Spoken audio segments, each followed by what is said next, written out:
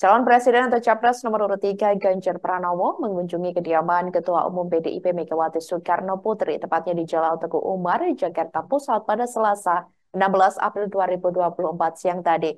Pertemuan keduanya terjadi seusai kubu 03 menyerahkan kesimpulan ke Mahkamah Konstitusi atau MK. Diketahui kubu 03, Ganjar Mahfud menegaskan tetap pada petitum awal sidang sengketa pemilihan presiden atau Pilpres 2024 di Mahkamah Konstitusi.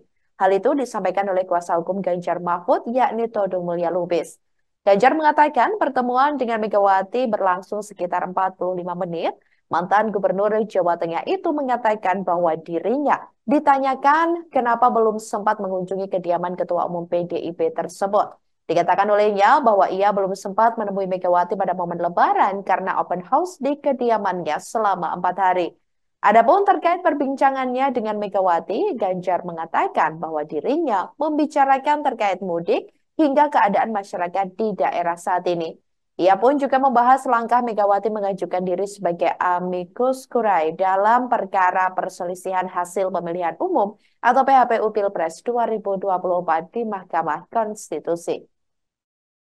Mas, tadi jam Terus. berapa di dalam sama ibu terus ngobrolin apa aja?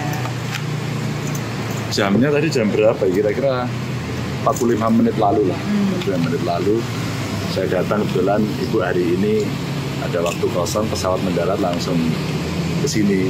Kemarin memang saya sempat ditanyain Ganjar di mana gitu. Karena hari pertama sampai keempat saya open house, maka ya sampaikan ibu saya nanti kesempatan pertama datang dan tadi dari bandara langsung. Ngobrol anu aja umum.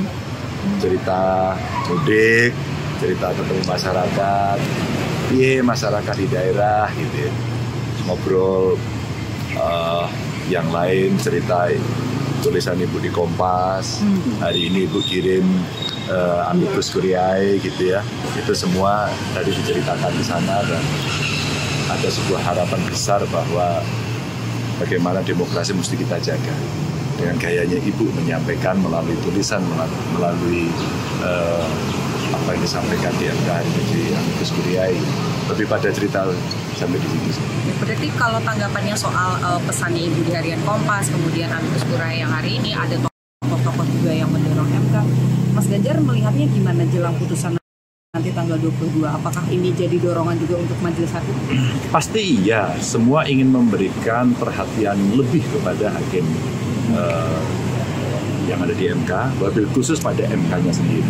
Saya kira itu momentum yang luar biasa buat MK untuk tidak membuat April Mop, tapi memperingati apa yang pernah dilakukan oleh seorang Kartini. Habis gelap terbitlah terang.